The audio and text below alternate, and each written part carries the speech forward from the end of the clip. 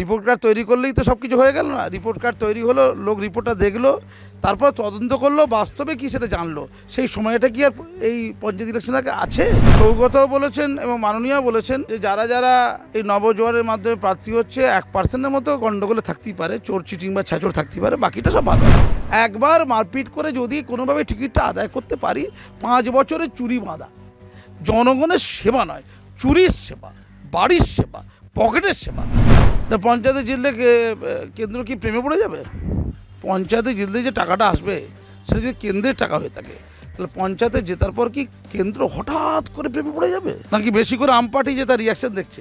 প্রচুর মিষ্টি মিষ্টি আম, বাংলার আম, বাংলার উত্তরীয়, বাংলার মিষ্টি, শান্তিনিকেতনে পাঞ্জাবি পাইজামা অনেক বাইরনকে নিয়ে ছেলে খেলা হচ্ছে, আর ওখানে কংগ্রেসের সাথে প্রেম হচ্ছে। মানে মানে বাংলায় কুস্তি, আর কেন্দ্রে দোস্তি।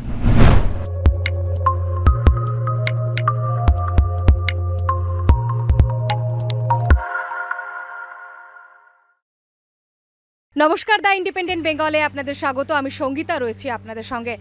পঞ্চায়েতের আবহে যখন প্রত্যেক নেতারা বলছেন যে, আমাদের ভোট দিন, আমরা জিতলে বিভিন্ন উন্নয়ন করে দেব।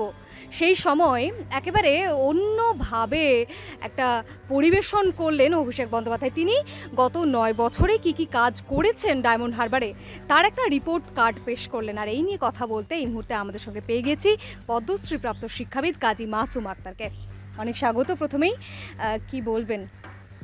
আর রিপোর্ট কার্ড তো সবাই করে, কাগজে কলমে না বাস্তবে?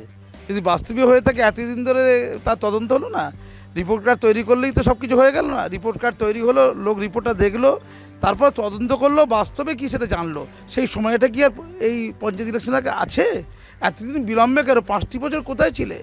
প্রণতা সেন, এতদিন কোথায় ছিলে? কিসের জন্য? কেন এত প্রমাণ করার চেষ্টা? যে আমি কিছু কাজ করেছি? এ কথা কারা বলে? ঠাকুর করে কেড়ে আমি তো কলা খাইনি কারা বলে? বুঝে নিন ধন্যবাদ।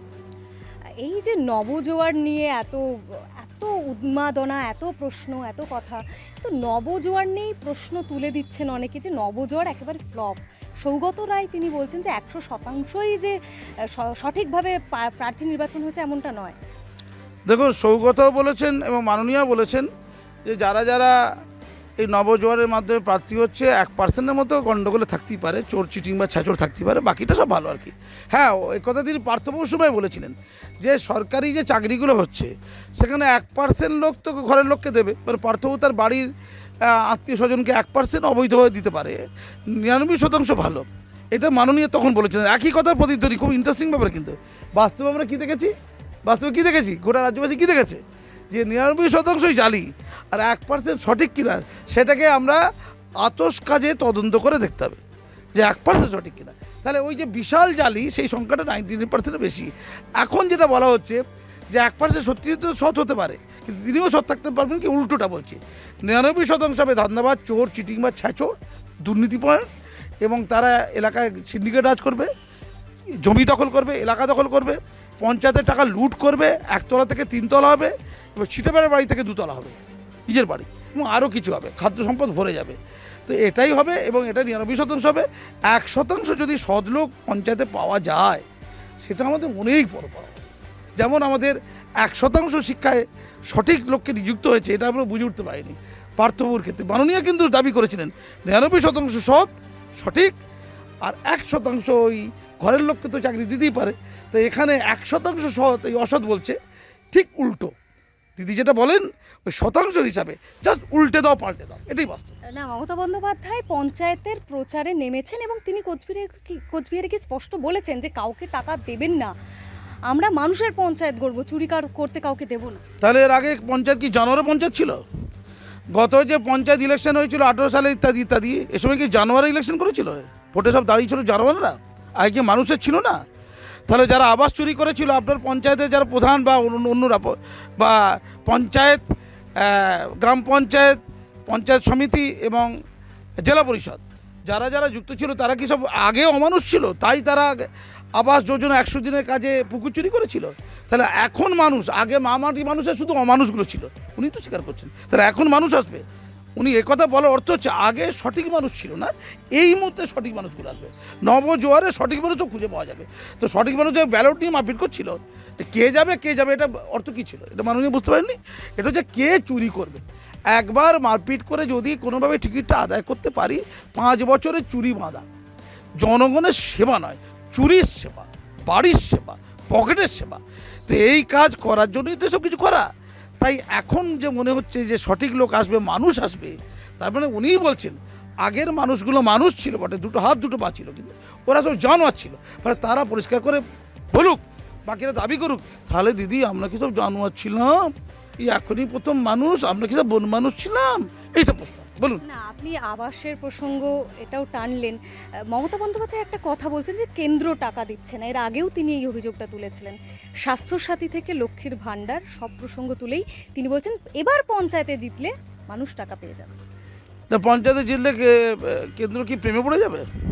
পঞ্চায়েতে জিতলে যে টাকাটা আসবে সেটা যদি কেন্দ্রের টাকা হয়ে থাকে তাহলে পঞ্চায়েতে জেতার পর কি কেন্দ্র হঠাৎ করে প্রেমে পড়ে যাবে? নাকি বেশি করে আম পার্টি যে তার রিয়াকশন দেখছে?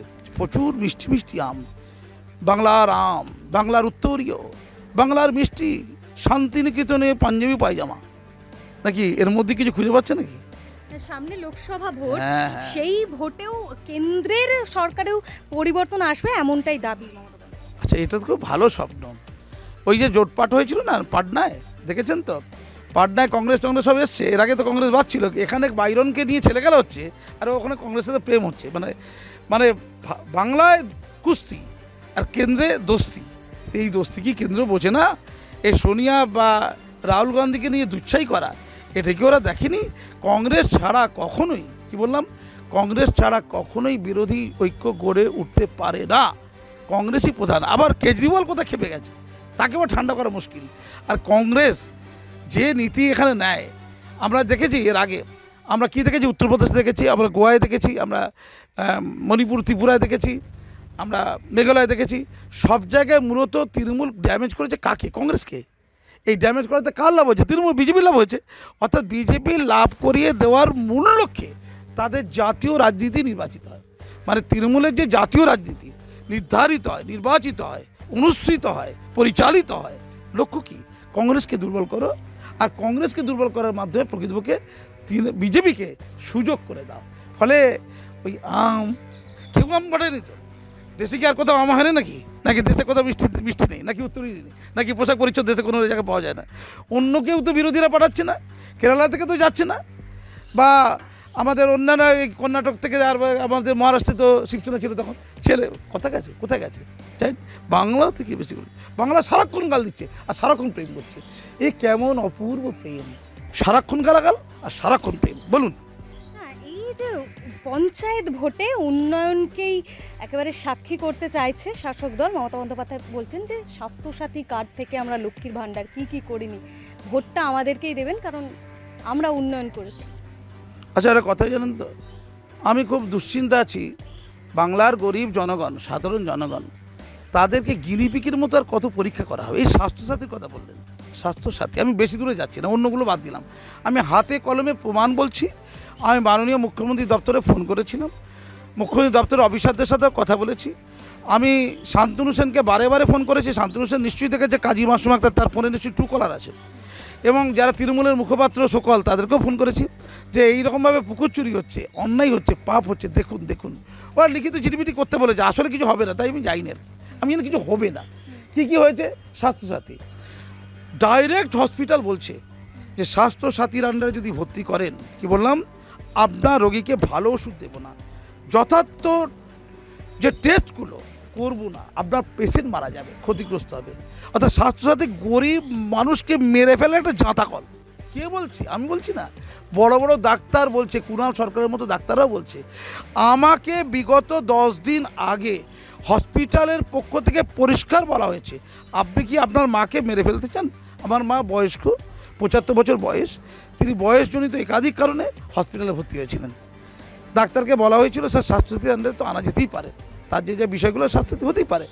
হসপিটাল সূত্রে পরিষ্কার বলা হয়েছিল, প্রাইভেট হসপিটাল, অত্যন্ত প্রিয় প্রিয় হসপিটাল সরকারের। সেই হসপিটাল সূত্রে পরিষ্কার বলা হয়েছিল, না, করবেন না। আপনি এত বড় লোকসান, সর্বনাশ আপনার মায়ের করবেন না। আমার কাছে তার যথেষ্ট প্রমাণ আছে। আমি তখনই ফোন করে দপ্তরগুলোকে জানিয়েছি, বলে বলার চেষ্টা করেছি। কাজ হবে না, আমি জানি কোনো কাজ হবে না। আমার তো পদলেহন করে মশাই মশাই করতে ভালো লাগে না। তো পরিষ্কার বলেছে, আমরা নিম্নমানের ওষুধ দিই স্বাস্থ্যসাথী কার্ড। কারণ আমাদেরকে মাত্র আঠারোশো টাকা পার ডে দেওয়া হয়। আঠারোশো টাকার মধ্যে কী কী আছে? বেড ভাড়া, নার্স অ্যাসেসরিজ আরএমও ডাক্তার, বিভিন্ন ধরনের যখন যে সকল আইটেমগুলো বেডের সাথে যুক্ত থাকে সেগুলো।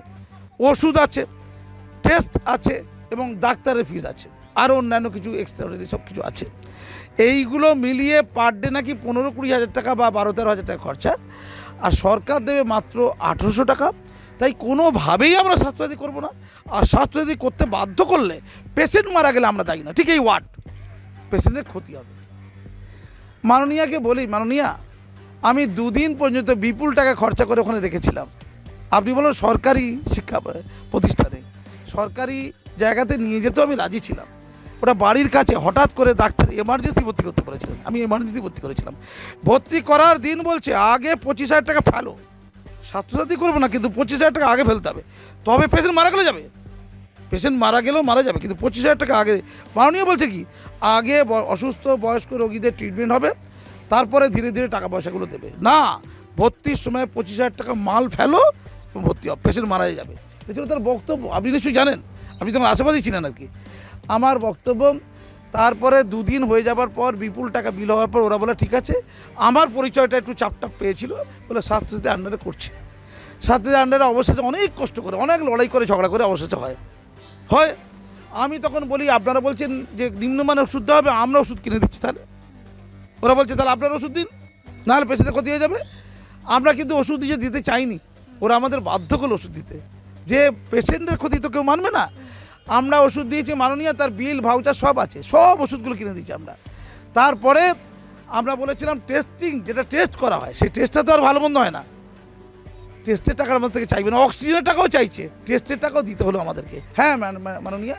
স্বাস্থ্যসাথীর আন্ডারে যাবার পরও সমস্ত ধরনের ওষুধের খরচা আমরা দিয়েছি। হাজার হাজার টাকা। দু টাকা চার টাকা নয় কিন্তু। বিপুল দামি দামি ওষুধ ভালো ওষুধ। আর টেস্টের খরচাটা প্রায় জোর করে আমাদের দিতে হয়েছে। তার বিল ভাউচার আমার কাছে আছে। হ্যাঁ হসপিটালের নাম শুনবেন? বলে দিচ্ছি জিডি ডায়াবেটিস হসপিটাল লেনিন সরণি মাননীয়কে চ্যালেঞ্জ করছি। এরকম অজস্র প্রমাণ আছে। গরিব অসহায় লোক অনেকে স্বাস্থ্য আন্ডারে ভালো হয়েছে। তাদের তো উপায় ছিল না তারা এমনি মারা যেত। হয়তো একটু ভালো হয়েছে, তার ট্রিটমেন্ট হয়েছে। কিন্তু অজস্র মানুষ স্বাস্থ্যসাথীর জন্য রং ট্রিটমেন্ট ক্ষতিগ্রস্ত ট্রিটমেন্ট হয়েছে। আর মিনিমাম ম্যাক্সিমাম যারা গরিব অসহায় লোক, তারা স্বাস্থ্যসাথী সুযোগ পায় না। সুইচটা অফ করে রাখে আপনাদের নেতারা স্বাস্থ্যসাথী দপ্তর পাত্তাই দেয় না। ফলে স্বাস্থ্যসাথী বিনা পয়সা হয়, এই গল্পটা আপনি তাকে তুলে রাখুন। আর স্বাস্থ্যসাথীর সুযোগ নেওয়ার জন্য বাংলার অসহায় মানুষ, সবাই তো আর আমার মতো চিৎকার করে কথা বলবে না। মারা যায়, ক্ষতিগ্রস্ত, এই খবর কি আপনি রাখেন? মনে হয় আপনি রাখেন না। অথবা রেখো চুপ করে থাকেন লোককে অন্ধকারে রাখার জন্য। ধন্যবাদ। বাস্তব অভিজ্ঞতা থেকে আপনি বলছেন এই যে উন্নয়নের যে উন্নয়নের যে বাণী যে স্বাস্থ্যসাথী বা লক্ষ্মীর ভাণ্ডার এগুলো আদতে পঞ্চায়েত নির্বাচনে কোনো কাজে দেবে না। এটাই বলছেন? আপনাকে একটা ছোট্ট কথা বলে রাখি। আপনারা যে অনেক সিদ্ধান্ত পশ্চিমবঙ্গ সরকার নিয়েছে শুধু মিডিয়ার খবর শুনে। তদন্ত হয়নি কাউকে জিজ্ঞাসাবাদ হয়নি শোকজ হয়নি। কোনো রকম জিজ্ঞাসাবাদ কোনো রকম চাওয়া পাওয়া কাগজপত্র কিচ্ছু না একটা মিডিয়া নিউজ করেছে, কোনো হেডমাস্টারকে ট্রান্সফার করে দিয়েছে। শুধু মিডিয়া নিউজ মিথ্যে নিউজ চূড়ান্ত মিথ্যে নিউজ তাহলে মিডিয়া নিউজ পশ্চিমবঙ্গ সরকার মিডিয়া নিউজ অনুযায়ী চলে। মানে অনুপ্রাণিত মিডিয়া তো মিডিয়া আমি আমি মিডিয়ার মাধ্যমে বলে দিলাম, আমার লিখিত করার দরকার নেই। আমার কাছে কাগজপত্র, প্রমাণাদি আছে।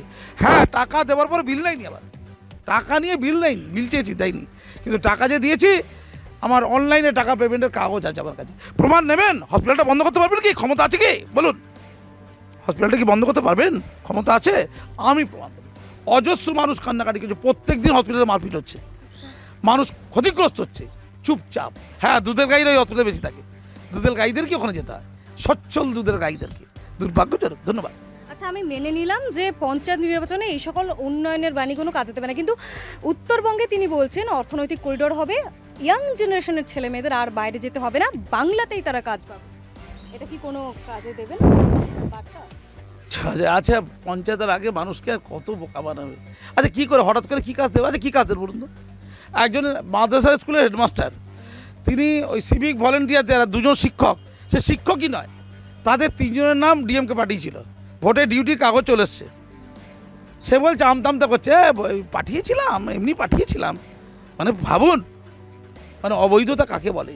যেখানে চূড়ান্ত নিষেধ স্কুল পাঠিয়ে দিল, নাম, আর ডিএম দপ্তর থেকে তাদেরকে অ্যাপয়েন্টমেন্টটা দিয়ে দিল। পরবর্তীকালে ধরাধরি হতে ডিএম দপ্তর শোকজ করে জানতে চেয়েছে। হ্যাঁ পরিষ্কার উদাহরণ দিলাম একটা। চারিদিকে এটা চলছে। আচ্ছা ওই যে হেডমাস্টার মশাই এই কাজটা করল, তার বিরুদ্ধে কোনো অ্যাকশন হবে কি? কিচ্ছু হবে না। তিনি অনুপ্রাণিত হেডমাস্টার আর যে লোকগুলো সৎভাবে কাজ করে, স্বচ্ছভাবে কাজ করে, তাদের নিরাপত্তা যেখানে চূড়ান্ত প্রবলেম তাদেরকে ভোটে ডিউটি দিয়েছে, প্রিজাইডিং অফিসার করেছে, তারা প্রিজাইডিং অফিসার। আমি নির্বাচন দপ্তরে গিয়েছিলাম, অজস্র স্কুলের হেডমাস্টার মশাইরা যারা প্রিজাইডিং অফিসার রয়েছে, প্রিসাইডিং অফিসার রয়েছে, তারা বলছে, স্যার, আমরা তো কি হোল্ডার? আমরা যদি না, আমরা যদি মানে নন মানে অনেক সময় অন্যান্য অ্যাসিস্ট্যান্ট টিচারদের দেয়নি হেডমাস্টারদের দিয়েছে, আগে ওদের দাও, ওদেরকে সাহায্য করা আগে। তো আমরা কি হোল্ডার? আমরা যদি চলে যাই, স্কুল তো বন্ধ হয়ে যাবে। স্কুলটাকে চালাতে হবে তো অনেক তো কর্মকাণ্ড থাকে হেডমাস্টারদের অনেক কাজ হেডমাস্টারদের। বলছে স্কুল বন্ধ করে দিন। অর্থাৎ স্কুল তো এমনি তো শেষ হয়ে গেছে। ওই বাকিটা যে একটু খুলে আছে ওটাকেও বন্ধ করে দিতে হবে। কে বলছে? নির্বাচন দপ্তরের লোক হ্যাঁ, কে বলছে? কবে বলছে? তার ফোন নাম্বার কি সব দিয়ে দেবো। প্রমাণও আছে। কলেজে অধ্যাপকদেরকে সিনিয়র অধ্যাপককে প্রিজাইডিং অফিসার করেছে। তার সাথে কি দেখাই করছে না? আমি এগুলো যাচ্ছি না। আমার বক্তব্য হচ্ছে কোনো কাজ নেই। ভাঁওতা আছে। পরিযায়ী শ্রমিকের কাজ হ্যাঁ এটা হবে। অন্য রাজ্যে গিয়ে মরবে। ট্রেন রাস্তায় হাঁটতে হাঁটতে মরবে। পরিযায়ী শ্রমিকের কাজ আছে, অন্য রাজ্যে আছে, পশ্চিমবঙ্গে। আচ্ছা বলুন তো, এই করমণ্ডল এক্সপ্রেস থেকে যারা গিয়েছিল দক্ষিণ ভারতে, আপনাদের আগেও বলেছি, তারা ম্যাক্সিমাম কারা ছিল? যারা মারা গেছে, আহত হয়েছে? দেখবেন তারা পরিযায়ী শ্রমিক ছিল। আমি পরিযায়ী কথাটাকে বিশ্বাস করি না, ওটা অসম্মান করা। অর্থাৎ অন্য রাজ্যে, ভিন রাজ্যে কাজ করতে যাওয়া অসহায় মানুষ ছিল। তারা কায়িক পরিশ্রমের কাজ, রাজমিস্ত্রির কাজ, জোকারের কাজ, এমনি সামান্য ছুতোর মিস্ত্রির কাজ, সামান্য এই টুকিটাকি যে কায়িক শ্রমের কাজ আছে, এই কাজগুলো করতে তারা গিয়েছিল। তাদেরকে এই রাজ্য থেকে গণহারে ওই জেনারেল কম্পার্টমেন্টে যেতে হয়েছে এবং চাপাচাপিতেও মারা গেছে। আচ্ছা করমণ্ডল এক্সপ্রেস দক্ষিণ ভারত থেকে তো বাংলা দিকেও আসছে। আপনি বলুন তো, অন্য রাজ্য থেকে কজন বাংলা দিকে পরিযায়ী শ্রমিক আসে খোঁজ নিয়ে দেখুন তো? এই খেটে খাওয়া মানুষদের কায়িক শ্রমিক তাহলে অন্য রাজ্য থেকে এই রাজ্যে আসছে তার কাজ নেই। আর এই রাজ্য থেকে অন্য রাজ্যে চলে যাচ্ছে, তার মানে? ওখানে কাজ আছে, এখানে কাজ নেই। কেন অন্য রাজ্যে আছে, এই রাজ্যে নেই কেন? যাদের এটা নেই, আর শিক্ষক তো গেল। ইঞ্জিনিয়ারিং তো সব লাইন ধরে বেকার। প্রাইমারি স্কুলের গেটের সামনে, সার্ভিস কমিশনের গেটের সামনে গিয়ে দেখুন, লাইন ধরে ইঞ্জিনিয়াররা দাঁড়িয়ে আছে। ওই প্রাইমারি স্কুলের টিচার আছেন তাদের মনে হচ্ছে কেউ কেউ টাকা পয়সা দিয়ে ভর্তি হয়েছিল চেষ্টা করেছিল। কোনো চাকরি নেই। বেকার বেকার। এখানে লেখাপড়া করলে মূলত বেকার, কিচ্ছু নেই। হ্যাঁ সিভিক ভলান্টিয়ার হতে পারে। যে সিভিক ভলান্টিয়ার রাহুল বেরা, সে কালীঘাটের কাকুর মোবাইলটা থেকে ওই সমস্ত তথ্য লোপাটের কাজটা করতে পারবে। মানে চিটিংবাজি কাজ, এইটা হতে পারে। অনুপ্রাণিত লোকজন, এটা হতে পারে। কেন্দ্রীয় বাহিনী এখানে আসতে এত আপত্তি কেন? এতগুলো লোক প্রায় আট থেকে দশজন মারা গেছে টোটাল কেন্দ্রীয় বাহিনীর অপদার্থতায়। ওই যে আমি বলেছি, জঙ্গল দস্যু বীরাপ্পান অনেকের কাছে হিরো ছিল এবং তার মধ্যে ব্যক্তিত্ব ছিল। ভুল ঠিক যাই করুক, অনেকের নিন্দিত। সরকার পাগল হয়ে গেছিল তাকে কন্ট্রোল করতে গিয়ে। নাকারি জমা রেখেছিল সরকার। তার গোপ ছিল। আর এখানে আছে আমাদের আইএস দস্যু বীরাপ্পান পশ্চিমবঙ্গে। যা দস্যুতার জন্য তারা তাজা তরুণ আট দশজন মারা গেল, অজস্র লোক আহত হলো, গোটা বাংলা গণতন্ত্র ধ্বংস হলো। তিনি প্রথমে কি বললেন? কেন্দ্রীয় বাহিনী দরকার নেই, পুলিশ দিয়েই সব হয়ে যাবে। ভালো করে শুনুন। তো পুলিশ দিয়ে হতে গেলে পুলিশের সংখ্যা তাহলে বুথ সংখ্যা বেশি হতে হবে। দেখা গেল রাজ্যে যত পুলিশ আছে, তার চেয়ে বুথের সংখ্যা বেশি। তারপরে বলল, না না, অন্য রাজ্য থেকে পুলিশ আনব। তা অন্য রাজ্য থেকে যখন পুলিশ আনতে হবে, তাকে টাকা দিতে হবে তো। রাজ্য খেতে পায় না। হতদরিদ্র নেই নেই নেই। কিন্তু পুলিশ আনার টাকা আছে আর সুপ্রিম কোর্টে মামলা লড়ার টাকা আছে। তা সুপ্রিম কোর্টে গেল যাতে যাতে কেন্দ্রীয় বাহিনী না পাওয়া যায় হেরে গেল হাইকোর্টে হেরে গেল সুপ্রিম কোর্টে হেরে গেল। অন্য রাজ্য থেকে পুলিশ নেবে তবু কেন্দ্রীয় বাহিনী নেবে না। কেন্দ্রীয় বাহিনী নিলে কি ফ্রিতে নেওয়া? এবং তারা আরও দক্ষ যোগ্য তারা আরও নিরপেক্ষ? তাদেরকে নেওয়া যাবে না? তাহলে অন্য রাজ্য থেকে পুলিশ নেবে পয়সা দিয়ে।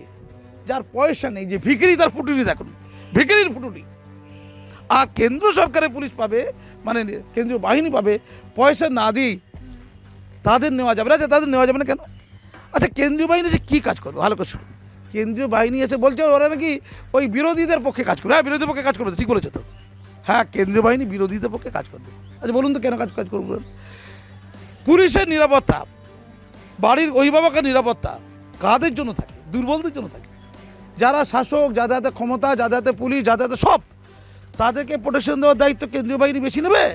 না যে আইএসএফ যে কংগ্রেস, যে সিপিএম, যে বিজেপি, যাদের দুর্বল, বিভিন্ন জায়গায় দুর্বল, যারা দাঁড়াতে পারছে না, যারা জনাদেশ পায়নি, তারা এত দুর্বল, তাদেরকে রক্ষার দায়িত্ব কেন্দ্রীয় বাহিনী নেবে। পুলিশেরও তাই দায়িত্ব ছিল, পুলিশের দায়িত্ব নেবে না, কারণ পুলিশ অনুপ্রেরণা, অনুপ্রাণিত তিনি ক্ষমতাশালীর পক্ষে দায়িত্ব নেবে, দুর্বলের পক্ষে দায়িত্ব নেবে না। তাই তো আমরা ভাঙড়ে দেখেছি দেখেছি। দুর্বলদের যখন মারা হচ্ছে, পুলিশ তখন খাচ্ছে। বলছি, উপদ্রুত এলাকা আমরা যাই না। তোমরা সাংবাদিকরা, তোমরা যাও, আমরা যাব না। তাহলে যে ছাত্র দুর্বল, যে মাতা কোন সন্তানের প্রতি বেশি নষ্ট, দৃষ্টি দেয়? যে সন্তান স্পেশাল চাই। স্কুলের ক্ষেত্রে বলা হচ্ছে, গুড টাচ, ব্যাড টাচ। শিক্ষক, শিক্ষিকাদের জন্য বলা হচ্ছে, ছাত্রছাত্রীদের বলার জন্য বলা হচ্ছে, ছাত্রছাত্রীরা স্কুলে দুর্বল, তারা ছোট। তাদের সুরক্ষা দেওয়া দায়িত্ব তাই বিরোধী যারা আছে, এই কথা কিন্তু কেউ বলেনি। গণতন্ত্রে রাজনৈতিকভাবে যদি দেখা যায়, যারা দুর্বল বিরোধী দল, যারা অসহায়, যাদের নিরাপত্তা দেওয়ার দায়িত্ব, নিরাপত্তা দানকারীরা, তার দিকে দাও তার দিকে যাবে। প্রথমে ছিল কি, বাইশ কোম্পানি আটশো বাইশ হলো। আচ্ছা আটশো বাইশ যদি হয়, ভারতবর্ষে আরও আরও তো অনেক জায়গা আছে যেখানে কেন্দ্রীয় বাহিনী লাগবে। শুধু পশ্চিমবঙ্গের পঞ্চায়েত নয়, গোটা ভারতবর্ষে একাধিক জায়গা আছে যেখানে কেন্দ্রীয় বাহিনী অত্যন্ত দরকার। আটশো বাইশ যদি দিয়ে দেওয়া হয়, তাহলে তো রাজ্যের ক্ষতি মানে দেশের ক্ষতি। অন্য জায়গায় তো অশান্তি হতে পারে। সেখানে তো ল অ্যান্ড অর্ডার ব্রেক হতে পারে। সেখানে তো বিশৃঙ্খলা হতে পারে। হচ্ছে তো, ভারতের বিভিন্ন প্রান্তে হচ্ছে। তাই আমি যেটা জানতে পারছি, হাইকোর্টও বলছে, মাননীয় রাজ্যপালও বলেছেন অনেক পরে হলেও বলেছেন। বিলম্ব হলেও শুভবুদ্ধি লড়াইটা উদিত হয়েছে। যে বিভিন্ন দফায় এই পঞ্চায়েত ইলেকশনটা হোক। অসুবিধা কোথায়? বিভিন্ন দফায় করলে কার ক্ষতি? গণতন্ত্রের লাভ তো। মানুষ তো সুরক্ষা পায়। ওই কেন্দ্র বাহিনী সাড়ে তিনশোর মতো নাকি এসছে। তাদেরকে দিয়ে বাকিগুলো কাজ করা যায় তো। তাহলে এখন অভিযোগ করাবে, কেন্দ্র তো বড় বড় কথা বলে, তো আগে তো বলছো কেন্দ্র বাহিনী দরকার নেই। আগে তো বলেছিল একটা অশান্তি হয়নি। মনোনয়নের ক্ষেত্রে এত শান্তিপূর্ণ মনোনয়ন কি ভারতবর্ষে কোনোদিন ঘটেনি? মাননীয় বলেছিলেন। আমি তো বলেছি, ওনার মানসিক সমস্যা আছে।